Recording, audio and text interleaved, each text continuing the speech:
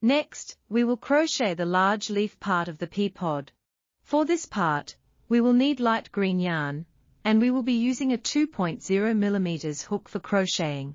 Let's go over the crocheting method for each round in detail. First, we start by working into a chain,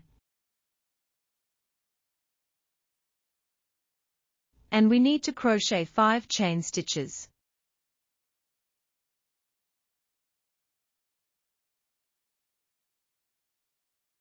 Then we begin crocheting a single crochet stitch in the position of the second last stitch.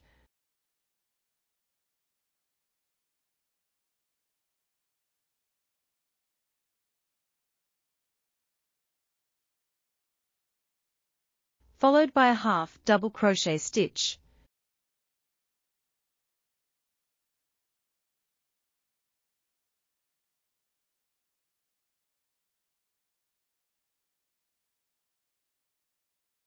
And a double crochet stitch.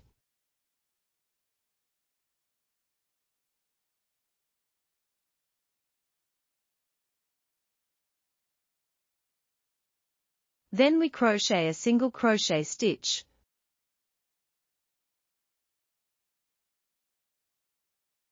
followed by a picot stitch. Let's demonstrate the crocheting method for a picot stitch. First, chain 2. Then perform a slip stitch into the side two loops of the previously made single crochet stitch.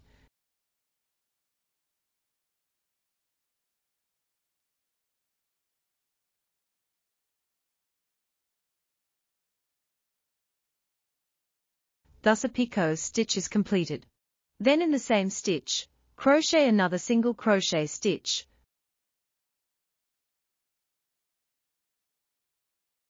followed by a double crochet stitch.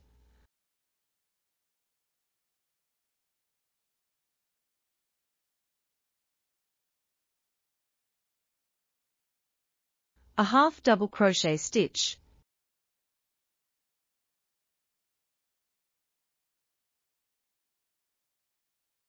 and a single crochet stitch.